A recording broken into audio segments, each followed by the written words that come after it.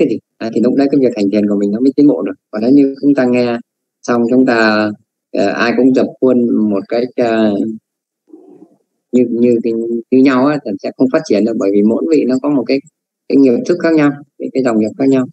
Nên là hành thiền những vị sẽ thấy khác nhau và cái vị kinh nghiệm những cái pháp khác nhau. À, thì vâng. mình mình mới cần phải thường xuyên chúng ta phải cần phải trao đổi với nhau. À như thế. Dạ thế còn là à, còn về cái uh, cô chia sẻ là cô hành thiền mấy ngày mà cô thấy được cái cái cái sự sức khỏe nó thay đổi thì nó là cái cái điều đương nhiên nếu như mình hành thiền đúng ấy, mình hiểu hiểu đúng lời Phật dạy rồi mình hành đúng thì đương nhiên cái thân tâm của mình nó sẽ được thanh lọc. Mà nó thanh lọc thì đương nhiên nó sẽ khỏe ra. Vâng. À, và đương nhiên nó sẽ tốt. Thì cái điều đấy là đương nhiên rồi thì à, Đức Phật tự nhận mình là đại y vương cũng thể chữa được tất cả các loại bệnh. Bệnh thân bệnh tâm. Bệnh của thân bệnh của tâm. Nên nên là chúng ta thực mà thực hành đúng theo lời Phật dạy chắc chắn là chúng ta sẽ được lợi ích. Ta sẽ được nhiều cái lợi ích. Còn về cái thân này thì chúng ta quý vị cũng hiểu là à, cái bệnh à, sanh già bệnh chết thì không ai thoát. Phải nó được ngay cả thân của đức phật à, phải chịu cái sự vô thường như vậy. Đấy, thì cái bệnh thì đương nhiên ai cũng không thể thoát khỏi cái bệnh này. Ngay cả thân của đức phật cũng còn phải bị bệnh à, thế nên là mình à, hành thiền là chỉ để cho những cái thiện nghiệp của mình nó chỗ ra để cho mình được à, an vui trong cái lúc mà mình còn được à, à, còn cái thân mạng này. Hoặc là nếu như cái cái nghiệp cũ mà chúng ta tạo đến lúc mà chúng ta phải nó trả quả thì chúng ta cũng chỉ khổ của cái thân này thôi. Chúng ta không khổ của cái tâm nữa thì nó sẽ giảm đi rất là nhiều. À, cái khổ mà cho chúng ta nằm chấp vào cái thân này xong lên đến lúc mà nó thân nó bị đau bị bệnh bị già xong là tâm của chúng ta lại khổ thêm. Chúng ta lo sợ về cái bệnh đó chúng ta sợ hãi về cái bệnh ta à, lo lắng về nó chúng ta sầu muộn về nó thì ta chịu hai cái khổ cùng một lúc. Tức là đã khổ thân rồi lại còn khổ tâm nữa. Còn như khi chúng ta biết cách hành thiền rồi thì cái chúng ta hiểu rõ là cái quy luật vận hành của pháp nhân duyên nhân quả nó đến là thì khi cái bệnh của thân thôi nhưng mà à, tâm mình không bị sầu muộn không bị khó và nó nữa thì nó chỉ bị khổ một cái ờ, à, khổ thân thôi. À, thì nó nhẹ đi rất là nhiều. Cái khổ tâm nó mới là cái đau khổ. Khi mà chúng một người bị mắc một chứng bệnh nhưng mà họ đã biết rõ đó là cái điều tất yếu nó sẽ xảy ra thì họ cái bệnh ấy nó lại giảm trừ giảm đi rất là nhiều. Nhưng nếu một người không chấp nhận cái bệnh đó, sợ hãi lo lắng buồn sầu khổ về cái bệnh đó thì cái bệnh ấy nó còn tăng lên rất là nhiều. Thân nó khổ thân nó, cái bệnh thân nó sẽ tăng hơn. À, càng tăng thì cái tâm nó càng sầu muộn càng sầu muộn thì cái bệnh nó càng tăng xuống nhiều hơn. À, thế nên là người hành thiền nó có cái lợi. Họ chỉ khổ một cái thôi. À, và cái cái khổ đấy nó cũng sẽ nhẹ nhàng rất nhiều và nó qua đi rất là nhanh. À, à còn à, cái việc mà khi mình hành thiền cái thân tâm của mình nó được thanh lọc. À, thì đương nhiên cái cơ sức khỏe của mình nó sẽ thay đổi. Bởi vì các vị mà hành thiền đúng tức là khi mà uh, những cái thiện tâm những cái cái, cái thiện tâm nó sanh khởi lên nhiều à, tức là những cái bất thiện tâm nó không sanh khởi thì những cái thiện tâm nó sanh khởi lên thì tâm của mình nó được an vui tâm của mình nó được hỷ lạc. Tức là định tâm nó sanh thì thân, thân cái tâm của mình nó nó an vui nó hỷ lạc. Thì đương nhiên ở khi tâm nó những cái thiện tâm như vậy nó làm cho cơ nó sẽ làm cho cái cơ thể của mình nó cũng được thư giãn thoải mái để nó tương ứng với cái tâm đó. Nhưng cái thân mà nó đau nó nhức nó mỏi thì cái tâm nó không thể an được không thể định được. À, thế nên là khi mà những cái cái tâm mà nó không định được như vậy những cái tâm sân hận à, chán trường ghét bỏ nó sanh lên à, thì cái thân nó à, nó cũng tương ứng với cái tâm những cái tâm như vậy cái tâm bất thiện như vậy. Còn khi mà cái tâm của mình nó những cái thiện tâm nó sanh khởi lên thì có tâm định tâm bình an thì lạc à, nó sanh lên thì đương nhiên cái cơ thể của mình nó cũng phải tương ứng. À, tức là nó tự nó, nó sẽ đào thải những cái bất bất tịnh ở trong trong thân của mình ra. Và nó sẽ tiết ra những cái hormone nó làm cho cái cơ thể của mình nó được uh, an được thư giãn được thoải mái để nó tương ứng với cái, những cái thiện tâm. Thế nên là thân tâm nó nó tương ứng với nhau như vậy nó liên hệ với nhau như làm riêng cho nhau như vậy. Khi mình hành thiền thì sẽ biết rõ lúc những cái lúc tâm mình an vui định tĩnh thì uh, nó hỉ lạc nó xanh khởi lên thì cái thân của mình nó rất là thoải mái nhẹ nhàng khi mình hành thiền đấy là những cái cái tâm nó thanh lọc rồi thì những cái bất tịnh ở trong cơ thể của mình ấy, những cái trượt khí ấy, nó sẽ được đào thải ra ngoài Đấy. tự cái cái cái cái, cái, cái cơ chế tự nhiên nó sẽ đẩy những cái trượt khí những cái bất tịnh ở trong cơ thể của mình ở trong cơ thể của mình ra à, bởi vì à. chính những cái à, vâng chính những cái mà bất tịnh nên nó làm cho cơ thể của mình à, nó bực tức nó khó chịu à, nó nó làm cho cơ thể mình thường xuyên nổi nóng thường xuyên khỏi những cái tâm sầu bi à, sầu muộn lên đấy đó chính là những cái trượt khí mà nó nằm ở trong cơ thể của mình. Nó làm cho cơ thể mình khó chịu bực bội như vậy. Thế thì khi mà tâm của mình được thanh lọc thì cái thân nó cũng sẽ thanh lọc những cái bất tịnh đấy ra. Thì thân tâm nó sẽ được nhẹ nhàng và nó rất dễ dàng và ờ, đạt được những cái trạng thái thì lạc cho nên là việc hành thiền đúng là nó nó sẽ thanh lọc như vậy nên nếu mà quý vị nào mà chưa từng hành thiền ấy, mà quý vị hành thiền đúng thời gian đầu quý vị hành thiền đúng ấy, là những cái trường khí ấy, nó nó được thanh lọc ấy, nó nó nó nó đẩy ra ngoài qua những cái nhõ chân lông hay là qua những cái ờ, cơ thể của mình nó được đào thải đó ờ, lúc đầu có những cái mùi rất khó chịu. Quý vị có hành thiền xong đó, là cái cơ thể của mình nó bốc ra những cái mùi rất khó chịu. Tức là nó đã đào thải những cái, cái bất tịnh ở trong cơ thể của mình đã trong một thời gian cái thân mình nó sẽ được thanh lọc à, nó sẽ sạch sẽ dần. Đó thì về liên hệ về cái ờ, cái cái thân tâm nó liên hệ như vậy và cái cái cách hành thiền mình hành thiền đúng là mình sẽ kinh nghiệm được cái điều. Còn uh, như cô nói là cô gặp những cái chứng bệnh ấy, thì đức phật cũng có có cái phương pháp làm mình phát triển cái thất giác chi ấy. Vâng. quý vị nào đã từng, từng nghe hay là từng thử từng, tu để phát triển cái thất giác chi ấy thì nếu như không bệnh nó nào bệnh thuộc về thời tiết bệnh thuộc về ăn uống hay là bệnh thuộc về cái chế độ sinh hoạt ngủ nghỉ của mình nó không được điều hòa mà kể cả là bệnh do nghiệp thì nếu mình phát triển được à, khi tu mình phát triển cái thất giác chi ấy, bởi cái yếu tố giác ngộ ấy, à, thì cái bệnh ấy, nó thuyên giảm rất là nhanh vâng. à, nếu mình biết cách để mình phát triển được bảy cái giác chi ấy mình làm cho cái thất giác chi nó sanh khởi lúc mình hành thiền thì cái bệnh nó được thuyên giảm rất là nhanh. Thì quý vị nào mà là chưa thử chưa tập đến cái cái đó thì quý vị cứ hành thiền quý vị uh, gặp những cái trường hợp như vậy thì các vị chia sẻ này. Sư chia sẻ với quý vị. Như mình phát triển uh, ngũ căn ngũ lực. À, à, thất giác chi là những cái yếu tố mà mình cần phải phát triển nó chính là những cái ờ, yếu tố để đưa đến sự giác ngộ. Thì, thì các vị phải chia sẻ về à, cái cái cái cái à, cách mà quý vị đang hành thiền như thế nào thì sư mới biết là à, mình nên phát triển cái gì. Ví dụ trong ngũ căn à, tín tấn niệm định tuệ à, thì nó phải được cân bằng.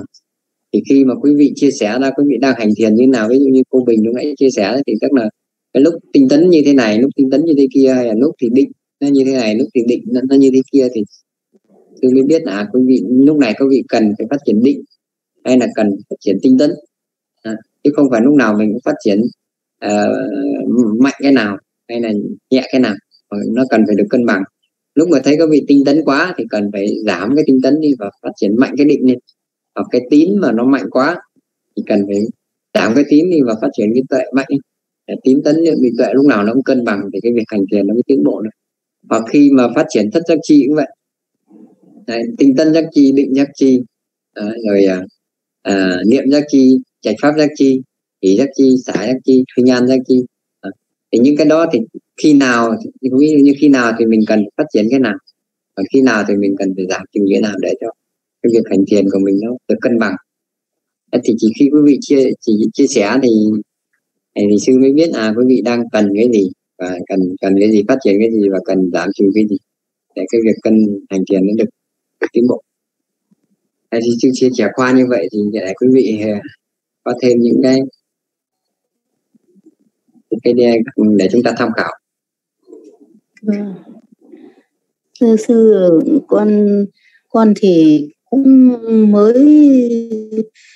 tức là trước kia thì con mà ngồi khi mà chưa chưa vào room của sư con mà ngồi một tí là là cứ ngủ cứ ngủ một tí là đã đã đã đã ngủ đi mất rồi. Nhưng mà dần dần thì từ hôm mà vào thì thiền đến giờ thì nó cũng đỡ đi được nhiều ạ. Cũng cũng không buồn ngủ nữa. Thế và ừ, cái cái cái, cái không, không biết gọi là, là tuệ hay là gì nhưng mà cái cái cái cái nó cũng phát phát triển được những cái cái cái cái, cái, cái việc mà uh, thực hiện uh, năm điều mà hàng ngày mình vẫn vẫn vẫn vẫn vẫn thực hành nhé thì ví dụ như là con có cái gì là con con con hay hay hay hay nóng nhưng bây giờ thì con bớt được rất là nhiều. Có những người ví dụ người ta người ta nói là đừng chơi với cái người ấy nữa, không thể nào tôi cấm bà không được chơi với người đấy, vì người ta thấy nọ, người ta thấy kia thì con bảo thôi, từ nay cái cái bà này bà ấy xấu tính, bà ấy hơi tí, bà ấy nói bậy nói bạ thì bà ấy tùm lum tùm đa lên thì ừ, đi ừ, gần bà ấy rồi ừ, bà bà đem bà ấy chửi bới, người ta không biết người ta lại bảo là hay là mình làm sao thì ừ, thôi tránh xa và ra mọi người, bạn bè, ví dụ tập thể dục với nhau, cứ bảo bà, bây giờ bà không được nói chuyện với bà đấy. Nên về sau thì bà lại cũng biết lỗi thì bà ấy lại cứ ừ, lân la để bà ấy hỏi. Xong rồi là bà ấy làm đành thì về sau con nghĩ là thôi bây giờ người ta đã đã như thế rồi, mình cũng phải buông đi. Thế là con lại đối xử với bà bình thường, thì những người kia cứ bảo là, cái bà này nói như thế mà dì lại còn cứ cứ cứ chơi bà thế nào cũng có ngày bà lại chửi cho một trận vô lý dưa mặt. Nhưng mà con nghĩ rằng là bây giờ người ta người ta như thế thì mình cũng phải kéo người ta về để để mà hòa nhập với người ta rồi để từ từ để cho người ta cũng thấy. Chứ nếu mà cứ bỏ người ta rồi, thế là mình như thế mình cũng chấp. Thứ hai nữa là trước cửa nhà con có một cái cây xấu, cái cây xấu nó thiếu đất, thế là con nên năm con cứ đi lấy, con đi xin những cái vỏ cây sọ, xong con đi con đắp vào đấy, xong con phủ đất lên để cho nó ừ, về sau con mở nó ra thì ừ, thì là con lấy một góc thì con cho vào cái chậu. Còn góc ở bên mà con đổ trước rồi nó dài, nó ra bao nhiêu là dễ. Con sợ quá, con con nếu cào, con mới bảo thôi, cứ cào lấy đất thì sao con nghĩ là chết rồi. Cái cây nó nó nó nó ra rễ như này, nó giống như là là là con cứ nghĩ là bây giờ nó như là là là nó có con, mà mình lại cào nó ra mình giết đi con sợ quá. Thôi con điện tưới nước cho nó, con nghĩ rằng là mình phải thương nó. Thế thì con nghĩ là nhờ có tu tập cho nên là nó mới được như thế. Thì con sẽ cố gắng, nhưng mà con còn nhiều, con còn nhiều cái số lắm. Con phải cố gắng để con theo sư với lại theo các bạn này. Mỗi khi các bạn chia sẻ là cũng rút được kinh nghiệm. Thì con cũng sẽ cố gắng để con chia sẻ thế rồi ạ. Dạ, dạ, dạ và mình tu rồi mình sẽ có trí tuệ là mình cái tâm từ tức các nó sẽ sanh trưởng. Mình sẽ thấy chúng sinh tất cả chúng sinh đều đang rất là đau khổ. À, họ có lầm lỗi cái lỗi lầm mới cần đến giáo pháp. Chứ còn nếu như ai cũng giác ngộ rồi thì giáo pháp của đức phật cũng không, không cần thiết nữa. Giáo pháp của đức phật đức phật chỉ bày ra là để cho những người còn đang những những chúng sinh còn đang si mê mê nằm còn đang nặng ngục trong thanh tử luân hồi còn đang chịu bao nhiêu cái đầu đau khổ. Nên là khi mà mình biết được cái lợi ích của việc giáo pháp rồi mình tu tập mình được lợi ích thì có cái à, cái tình thương thực sự là muốn chia sẻ cái cái điều tốt lành cho những chúng sinh khác để chúng sinh thoát ra khỏi cái khổ đó. À, thì à, à, nếu như mình tự à, tu tập được rồi mình tự cứu được mình rồi thì mình mới có thể cứu người khác được. Còn nên là mình cũng phải tùy tùy duyên lúc mà mình thấy cái năng lực của mình đủ có thể trợ duyên cho người khác được thì mình trợ duyên. Và nếu như mình thấy mình chưa có đủ năng lực để mình có thể giúp được mình giúp được người thì mình phải to tu cho mình trước. À, vâng. và mình để mình à, tự giác rồi mới giác tha được. À, đừng ví dụ như mà mình cô thấy là à, cái cô kia cần giúp được thì mình giúp. Còn nếu như mình cảm thấy là giúp cô ấy mà chưa giúp được thì à, mình cũng cứ no cho cái việc mình tu tập cho nó tốt đó thì mình phải tùy duyên còn khi mà mình mình thấy được rồi mình thấy tất cả mọi thứ rồi và mình không còn bị phiền não nó chi phối mình không bị phiền não nó làm cho mình đau khổ được nữa thì mình sẵn sàng mình dấn thân à, dạ. Ừ. mình sẽ sẵn sàng mình dấn thân để mình uh, chịu đau khổ à, để giúp cho uh, các chúng sinh khác bớt đi đau khổ à, thì lúc đó là giác tha là mình mình chia sẻ những cái điều tốt lành để giúp cho những chúng sinh khác thoát khỏi khổ. Thì mình sẽ tùy từng cái này cái cái cái, cái sự tu tập của mình cũng như tùy từng cái, tình huống những cái, cái trường hợp để mình biết mình nên làm thế nào nó được lợi ích. Nhưng mà con ngồi kết già không được đau chân lắm con chỉ bán già thế con không thể nào con con cố được. Vâng Chưa và cái tư thế ngồi uh, quý vị phật tử đừng có quá quan tâm đến đến đến tư thế kết già hay bán già hay là dạ. ngồi hai chân song song à, các vị có nếu không ngồi được quý vị có thể ngồi trên ghế cũng được miễn là có vị sợ tỉnh thức quý vị quan sát được thân tâm của mình à, hướng tâm được vào đề mục là được nhưng yeah. Dạ. đức phật cũng không ờ, không không không nhất thiết là quý vị phải ngồi kết già wow. Các phương pháp cũng không nhất thiết là ngồi kết già cái mục đích của chúng ta hành thiền là để chúng ta phát triển niệm định tuệ thì ngồi tư thế nào mà phát triển được tốt tuy dạ, nhiên. Vâng. tuy nhiên ấy thì à, à, bởi vì cái phương cái cái tư thế ngồi nó có có cái tác động đến cái sự quan sát của tâm thì ngồi kết giá là nó được cái tư thế mà được nhiều người và ngay cả trong kinh thì chúng ta đọc cũng thế à, vị đây ăn ngồi kết già thân lưng thẳng và ăn chú tránh niệm trước mặt à, tỉnh giác vị ấy thở vô. Tỉnh giác vị ấy thở ra khi thở vô dài vị ấy biết rõ tôi đang thở vô dài. Khi thở ra dài vị ấy biết rõ tôi đang thở thì trong cái, cái kinh đại niệm xứ hay các cái kinh mà đức phật hướng dẫn về thiền đều có cái câu như vậy. Tức là ngồi cái giả thế tuy nhiên thì cái đó là cái ghi ghi như vậy nhưng mà cái mục đích của chúng ta là tỉnh tỉnh giác chánh niệm tỉnh giác biết rõ. Thì không nhất thiết là phải ngồi như thế nào cũng biết rõ. Cứ miễn là mình biết rõ tôi đang thở vô dài hay tôi đang thở ra dài. Tôi đang thở vô ngắn hay tôi đang thở ra ngắn. À, cái đấy mới là cái quan trọng. Dạ. Là uh, cô không không phải no là mình không ngồi được cái giả không cần phải ngồi cái giả cô dạ. ngồi bán dạng được hoặc là ngồi hai chân song song được. Thậm chí ừ. các vị chân đau quý vị ngồi được quý vị ngồi lên ghế. Vâng. Ghế cũng được. Vâng cảm ơn sư.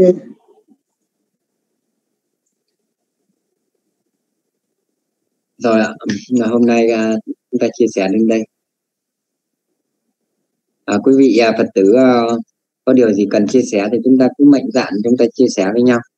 À, thời gian này à, cứ vào buổi tối này thì quý vị à, có thể chuẩn bị trước câu hỏi hoặc có thể nhắn tin cho sư cũng được.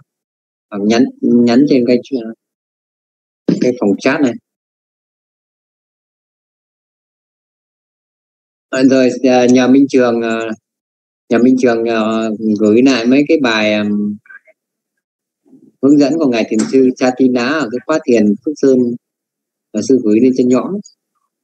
Dạ vâng cứ, cứ, cứ chú cứ gửi từng từng từng bài một ví dụ như quán thân này trong đó này quán uh, các cái các cái phương pháp từng bài từ bài một đấy bài một đến bài đến bài thứ tư trước.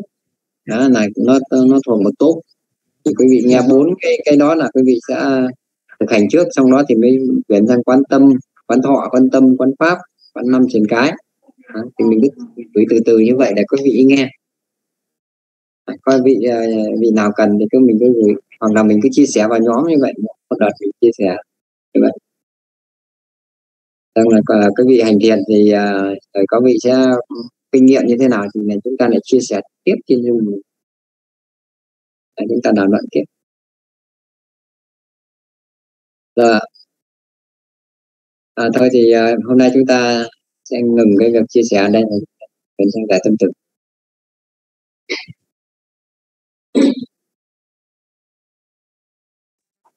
Dạ bạch sư cho con xin à, xin một phút ạ. Thì uh, con thấy ở trong Zoom có cô Hà Nhung và anh Lê Tuấn Anh ấy, thì là anh chưa có trong nhóm học hành. Thì thì một lát nữa thì cô Hà Nhung với anh uh, Tuấn Anh nhắn cho con số điện thoại để con add hai anh chị vào nhóm học hành để mọi người có thể theo dõi được cái clip cái video đấy ạ. Ai ạ? cô Hà Nhung và anh Tuấn Anh ấy, thì hai anh chị này là trong cái dung của ngày Suanda từ khi tổ chức ở chùa con có một cái đường link khác thì hai anh chị à. tự nhắn con giúp con vào cái top chat điện thoại để con add Zalo ạ để con cho vào nó phát hành của chùa mình ạ vâng vâng cô Hà Nhung với này à, anh Tuấn Anh liên hệ với này trưởng vâng vâng.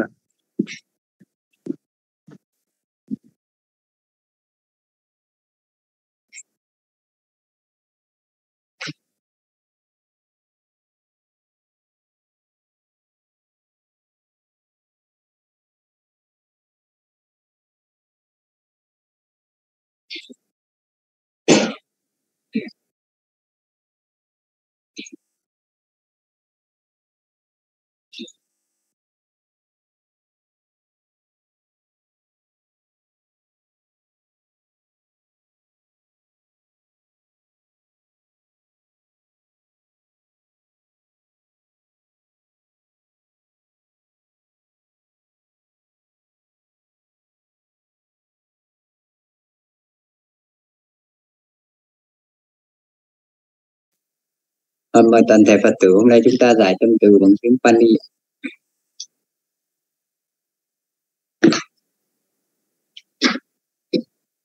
Aham aviru abhyavai adi suki antara parihara mama acadidaja yatinidaja sambrahmajari avira പരിഹാരം മമ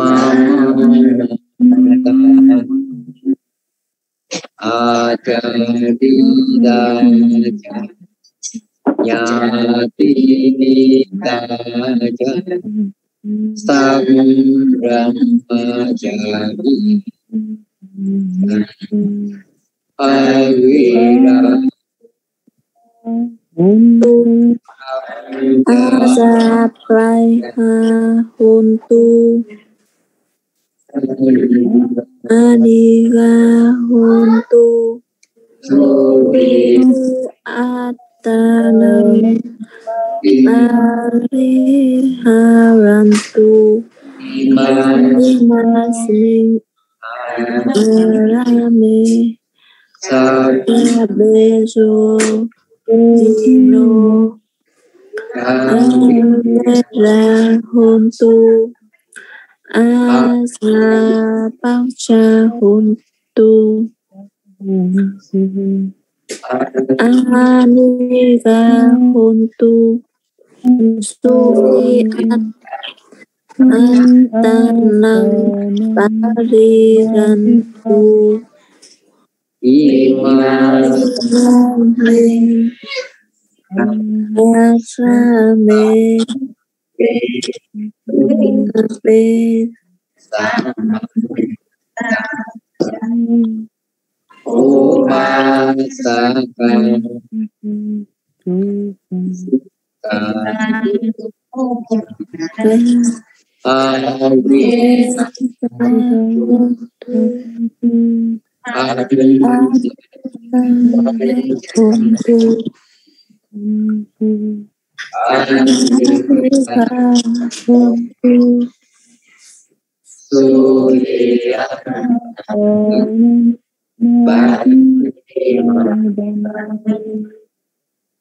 Amin.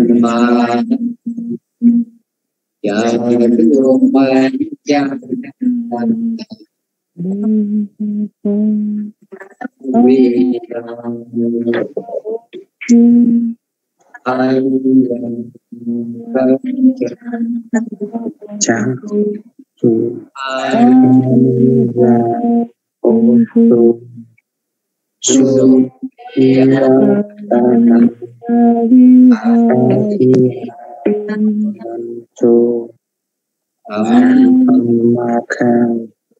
Anta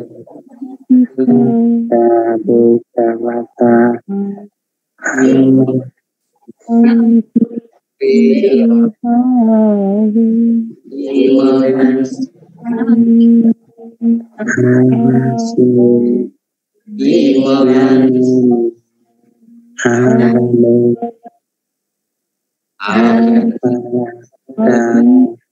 Bhagavata